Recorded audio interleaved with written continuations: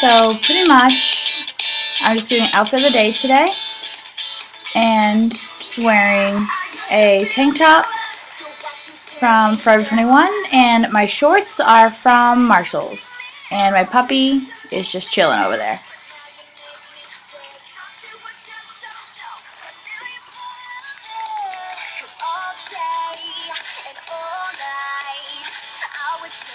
And here we go.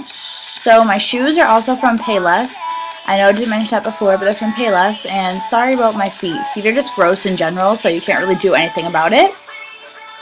But those are just from Payless, and they just go around the back of the ankle. And they're just like a gold, and they're in between the toe as well. And again, the shorts are from Marshalls, and the shirt's from Forever 21. It, the shirt has some studs right on the shoulders, and that's why I really like it. And there's just another overview of the outfit. And that's it. Hope you guys have a great day. Bye.